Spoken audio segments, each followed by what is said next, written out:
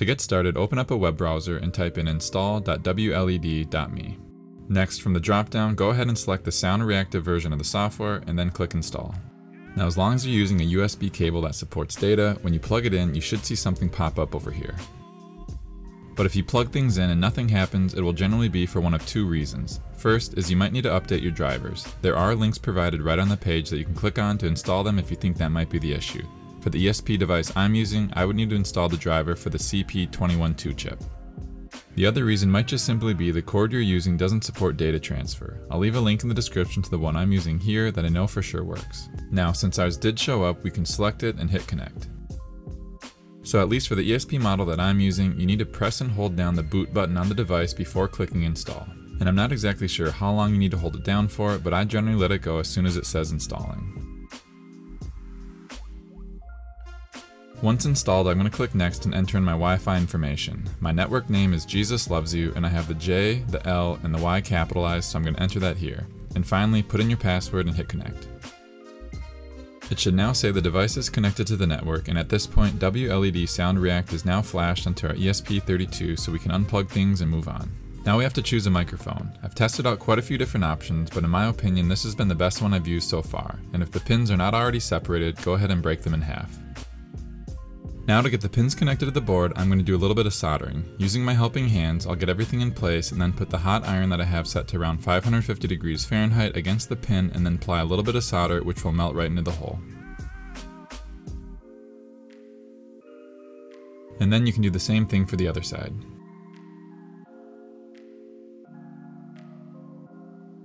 For getting everything connected, I'm going to be using these thick 20 gauge jumper wires that I recently found on Amazon. And for this first step, I'm going to take a red, white, and green wire. All three of them will have the one male and one female end. So on this first step, the red wire goes into the VIN pin, the white into the GND, and the green will go into the D2.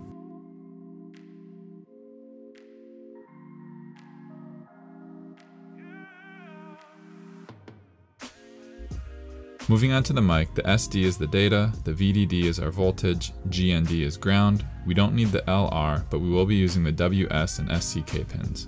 First, take a jumper wire that has one male and one female end and insert into the GND pin on the mic. Next, use a wire that has female ends on both sides and put it into the VDD pin.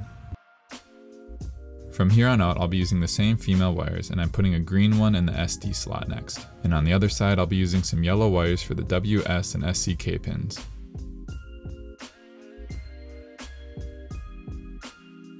Now you can take the green cable from the mic and plug it into the D32 pin on the ESP module.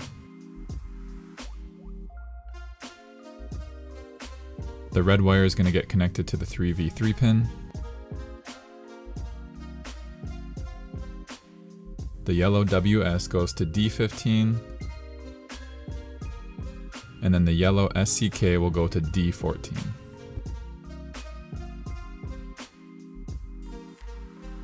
Now for our two white ground wires, I'm going to use a 3-slot Wago piece to connect them together. I could snip off the end to expose the wire before putting them in, but the male end of the jumper wire seems to fit in there just fine without having to do that.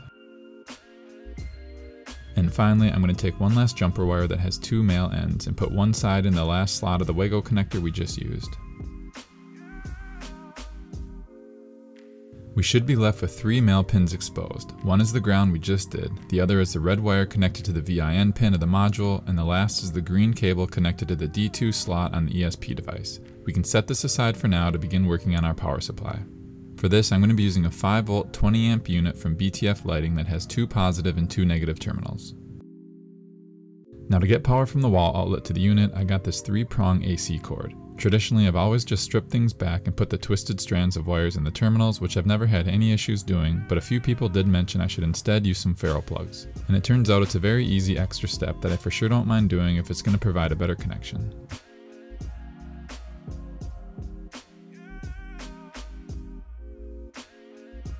The black wire will go on the left, which is our live, the white is our N and goes in the middle, and the green is our ground.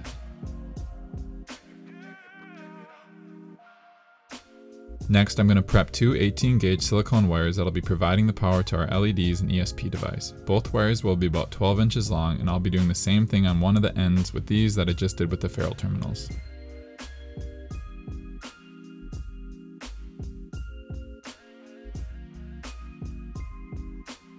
Then the white wire will go into one of the two negative terminals on the left, and the red wire will go into one of the two positive terminals on the right. As far as LEDs, my setup I'll be demoing at the end consists of SK6812 strips that have 60 LEDs per meter like you're seeing here. A lot of different ways you could go about getting things connected, but I'll be taking the lead power injection wires and stripping them back. Next, I'm going to lay out my LEDs and connect the red and white power injection wires from the strip to the red and white positive and negative ones from my power supply using an inline Wago piece. And finally, we're going to take our ESP32 and mic setup from earlier and plug the three male ends of the red, green, and white jumper wires into the matching colors of the LED strip's lead connector.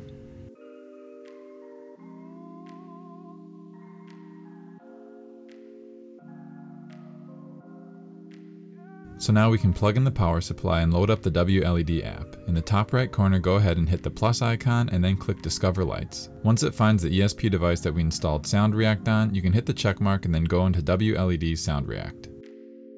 Now to get things set up, go into Configure and then LED Preferences. I need to first scroll down and change the LED strips to SK6812 since it defaults to the WS281X. Make sure the GPIO pin is set to 2 since that's the pin we put our data line on and then enter in the number of lights you have on your strip.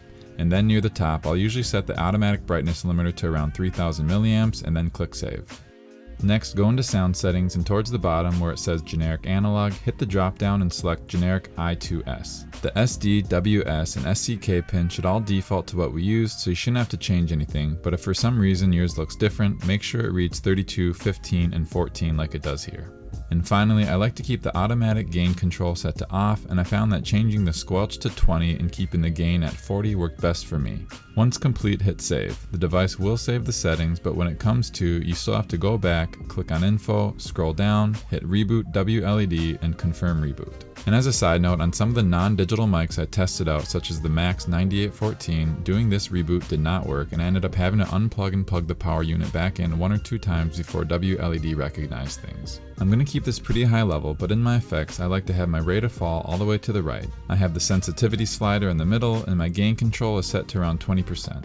And a lot of this is personal preference, so make sure to play around with these yourself. Now I don't know if things have just improved since last time I played around with WLED Sound React, or maybe I'm using a better mic, or possibly it's just that I have a better setup to showcase some of the effects, but I was absolutely blown away with how things performed and I hope it comes across on the video just how awesome this works. And to quickly recap what I have going on, one ESP32 device with WLED Sound React will be running both floor lamps. I have the data split coming off the controller, so they're going to be doing the exact same thing at the exact same time. The second ESP32 is also running WLED SoundReact and will be controlling the top and bottom diffusers. The data is split on this one as well, so they too will be doing the exact same thing at the exact same time. Both mics for these two devices are roughly in the same area back here out of sight. And finally, I have a third ESP32 running just regular WLED to control the media console.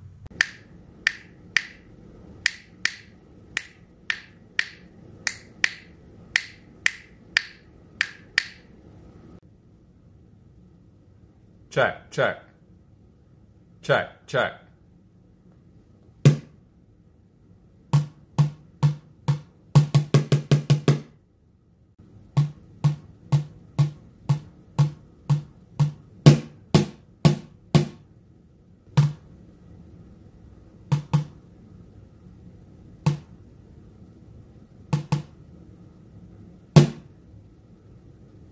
And for some of the effects to look more symmetrical, I can go into the segments and hit the mirror button to get the results I want.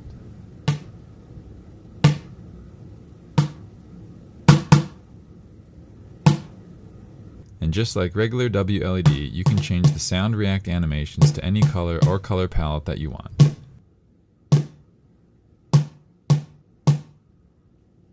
So from here on out, I'll just play some of my favorite music examples of the setup in action. Please let me know if you have any questions, and as always, I hope you enjoy the final videos.